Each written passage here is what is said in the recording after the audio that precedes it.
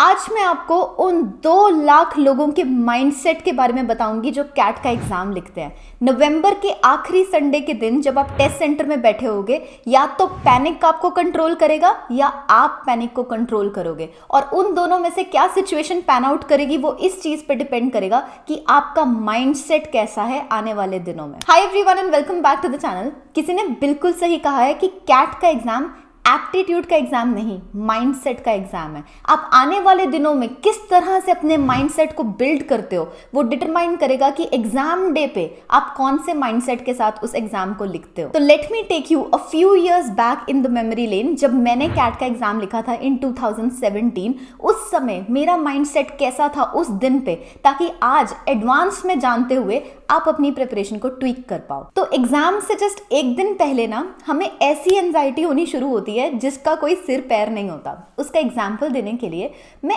ऐसी चीज़ों के बारे में वरी कर रही थी और शायद आप में से कुछ लोग अभी से ही वरी कर रहे होंगे जो मेरे कंट्रोल में ही नहीं थी। फॉर एग्ज़ाम्पल अगर मैं टेस्ट सेंटर में लेट पहुँची तो क्या? अगर मैं स्क्रीन के सामने ब्लैंक हो गई तो क्या? अगर टेक्निकल इशू आ गया तो क्या? ये सारे तो क्या वाले क्वेश्चन अननेसेसरीली मेरे एंजाइटी का लेवल बहुत बढ़ा रहे थे। तो एग्ज़ाम से जस्ट एक दिन पहले मेरे पापा ने मुझे ये सजेशन दिया कि जलंधर में जहाँ मैं रहती हूँ, वहाँ एक ही तो टेस्ट सेंटर है।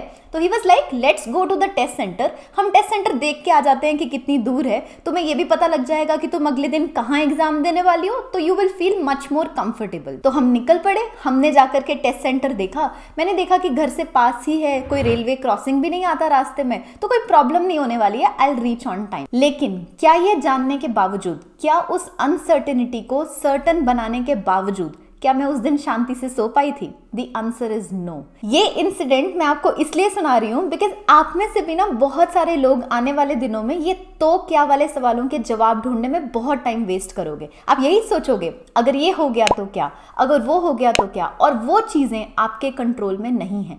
नो no मैटर आप कितने भी ऐसे तो क्या वाले अनसर्टन क्वेश्चन का आंसर ढूँढने की कोशिश करो इट इज़ द ट्रूथ कि आप हर चीज़ को सर्टन नहीं बना सकते। और क्योंकि आप हर चीज़ को सर्टन नहीं नहीं बना सकते what you need is trust trust ना बहुत ही प्यारी चीज़ होती है। देखो, जिन चीज़ों को आप नेचुरली ट्रस्ट करते हो, वो कितना आपका बर्डन कम करती हैं। जैसे जब आप रात को सोने जाते हो, आप ट्रस्ट करते हो कि अगले दिन सूरज खुद ब खुद निकल आएगा। इस चीज़ का बर्डन नहीं लेते हर रात को कि अगर सूरज नहीं निकला तो क्या? जस्ट बिकॉज़ आप उसे ट्रस्ट करते हो, आपको उस चीज़ का बर्डन लेने की ज़रूरत नहीं होती। सेम वे आपकी प्रिपरेशन जर्नी में जिन वेरिएबल्स पे आप कंट्रोल कर सकते हो, उनके ऊपर ध्यान दो और जिन वेरिएबल्स को आप कंट्रोल नहीं कर सकते हो, उनमें थोड़ा ट्रस्ट दिखाओ कि अगर आपने मेहनत की है तो रिज़ल्ट भी ज़रूर आएगा। सेकेंड इंस्टेंस है बिल्कुल ही नेक्स्ट डे का, जब मैंने एग्ज़ाम देना था और उस एग्ज़ाम को देते समय जो पैनिक सेट इन करता है, वो इस चीज़ की वजह से करता है क्योंकि आपके आसपास हज़ारों और बच्चे होते हैं। आपने जब मॉक्स दिए होंगे, ज़्यादा से ज़्यादा आप अपने घर पे बैठे होंगे या फिर के टेस्ट सेंटर में जाके 10-20 लोगों के बीच में मॉक दिया होगा। लेकिन इमेजिन कितनी सारी रोज कितने सारे कॉलम्स और भर भर के लोग जैसे कॉल सेंटर में बैठे होते हैं, वैसे टेस्ट सेंटर में एग्ज़ाम दे रहे हो। ऐसी सिचुएशन में ना अच्छे अच्छों का माइंडसेट बिगड़ जाता है विच इज़ वाई मेरी मम्मा ने मुझे एक एग्ज़ाम्पल सुना के टेस्ट सेंटर में भेजा था, जो मुझे आज भी याद है। शी टोल्ड कि जब उनकी जॉब की सिलेक्शन थी तो she was going for a typewriter का असिस्टेंट का जॉब सो टाइप राइटिंग के इंटरव्यू के अंदर एक ऐसा ही बहुत बड़ा टेस्ट सेंटर होता है और उसमें बहुत सारे लोग इकट्ठे टाइप राइटिंग कर रहे होते हैं। तो बहुत ही ऊँची आवाज़ आती है और आपको ऐसे लगने लग जाता है कि शायद आप पीछे रह गए हो और बाकी सब बहुत फास्ट फास्ट टाइप कर रहे हैं। तो मेरी मम्मा ने मुझे ये चीज़ समझा के भेजी थी कि उस समय सिर्फ़ और सिर्फ़ अपने ऊपर फोकस करना, किसी और को मत देखना बिकॉज़ वो आवाज़ तुम्हें इस चीज़ से डराएगी कि शायद तुम पीछे रह गए हो। सेम चीज़ टेस्ट सेंटर में भी हुई।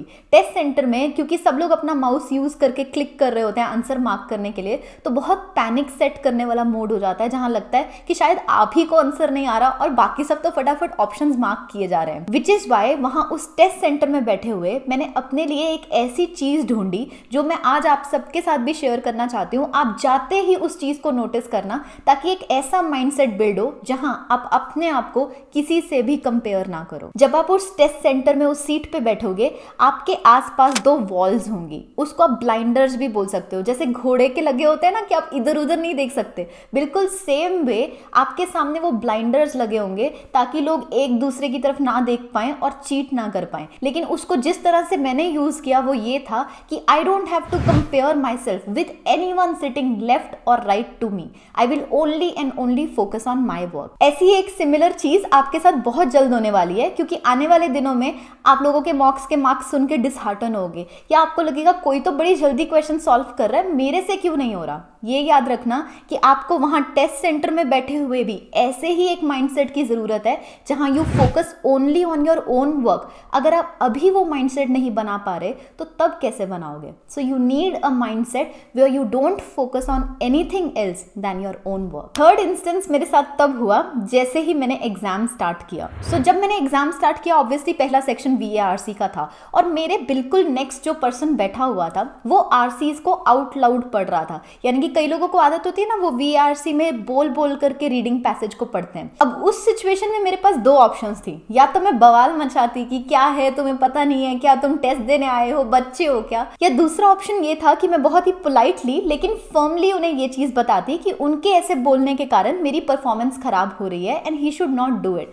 so I obviously opted for the second option मैंने पोलाइटली लेकिन फर्मली उन्हें बताया कि वो ऐसा ना करे, क्योंकि अदरवाइज़ मुझसे कॉन्सेंट्रेट नहीं हो पाएगा. And he did listen to it the reason I am sharing this with you is because as a potential manager आप में एक सोल्यूशन ओरिएंटेड अप्रोच होनी चाहिए. नो no डाउट आपके सामने ऐसी सिचुएशंस आएँगी जहाँ आप इमोशनली इन्वॉल्व होना चाहोगे. लेकिन you should always keep your calm and try understanding कि सोल्यूशन ज़्यादा इंपॉर्टेंट है या आपका इमोशन और ईगो उस समय ज़्यादा इंपॉर्टेंट है। ऐसा ही एक सिमिलर सोल्यूशन ओरिएंटेड अप्रोच आपको आने वाले दिनों में भी यूज़ करना पड़ेगा। जैसे जब मैं मॉक लिख रही होती थी तो मम्मा मोस्टली बीच में फ्रूट्स लेके आ जाते थे। So I had to tell her कि ये मॉक मुझे लगातार कुछ घंटे बैठ के देना होता है and I can't pause it in between जैसे टीवी देखते हुए तो शिट बी लाइक ना पॉज कर दो मूवी लेकिन सेम चीज़ मॉक में मैं नहीं कर सकती। And that is why I had to explain that to her similarly जब आप भी पढ़ने बैठोगे मॉक टेस्ट लेने बैठोगे, बहुत सारी इंटरप्शन आ सकती हैं, लेकिन उसको इमोशनल अप्रोच के साथ नहीं सोल्यूशन ओरिएंटेड अप्रोच के साथ डील करना। पता है, मेरी जॉब में जो मेरे मैनेजर थे he was the best example of using solution oriented approach rather than emotional approach वहाँ कोई भी सिचुएशन होती थी ना, कितनी भी एडवर्स सिचुएशन क्यों ना हो जाए he never got rude he never got emotionally involve he always thought of the solution so ये एक ऐसा माइंडसेट है जो आपको सिर्फ़ उस दिन टेस्ट सेंटर के टाइम पे नहीं चाहिए। आपकी जॉब में भी चाहिए आपकी लाइफ में भी चाहिए। सो so, अभी से कोशिश करो सोल्यूशन ढूंढो इमोशनली एंटेंगल मत हो। The final lesson is about the situation जहाँ मैं डी सेक्शन के कारण कॉन्ट सेक्शन को मेसअप करने जा रही थी। सो कैट 2017 में डी थोड़ा सा ट्रिकी आया था। एंड मेरा डी फेवरेट सेक्शन था। तो मेरे से कैसे नहीं हो रहा डी क्वेश्चन क्वेश्चन ये चीज़ का जो ईगो था वो बहुत ज़्यादा पैनिक क्रिएट कर रहा था और जैसे ही डी सेक्शन खत्म हुआ वो पैनिक सीधा ट्रांसफ़र हुआ कॉन्ट सेक्शन में। एंड उसकी वजह से कॉन्ट में बहुत ही इजी क्वेश्चंस को भी मैं सिली मिस्टेक्स की वजह से गलत करके आई। सो so, इस पूरे सीन से जो माइंडसेट का लेसन आपको ड्रॉ करना चाहिए वो ये कि you have to maintain your calm during the exam don't take any question any set personally अपनी ईगो को ना घर पे छोड़ के जाना जब एग्ज़ाम देने जाओगे। बिकॉज़ अदरवाइज़ ना वो एक क्वेश्चन वो एक सेट वो एक सेक्शन आपके पूरे एग्ज़ाम को रुइन करने की कैपेसिटी रखता है। सो so, प्लीज़ इस चीज़ का ध्यान रखना। Don't associate your identity with any question और एनी सेक्शन हो सकता है आरसी में ऐसा टॉपिक आ जाए जिसके आप फ़ैन हो। कोई क्रिकेट पे टॉपिक आ गया, कोई स्पिरिचुअलिटी पे टॉपिक आ गया। Don't attach your identity with that topic it is just a question it is just a paper similarly D हो सकता है आपका फेवरेट सेक्शन हो। आप 99 छोड़ो 100 परसेंट आइलर रहे हो हमेशा डी में। दैट डजेंट मीन कि उस पेपर में भी आपको सारे क्वेश्चन आते ही होंगे। कुछ क्वेश्चन स्किप करने के लिए ही बने होते हैं। तो इसी चीज़ की आप आने वाले दिनों में प्रैक्टिस करो। जब आप मॉक्स लोगे नोटिस करो कि क्या कोई ऐसा टॉपिक क्या कोई ऐसा सेक्शन या कोई ऐसी टाइप है जिससे आप पर्सनली एसोसिएट कर रहे हो अपने आप को। Don't do that because that's just an exam that's just a means to an end and that not not the end it so कुछ ऐसे पर्सपेक्टिव हैं जो शायद आपको फाइनल एग्ज़ाम को फेस करने के लिए एक स्ट्रॉन्ग माइंडसेट बना के देखे जाए. I hope they do thank you so much for watching this guys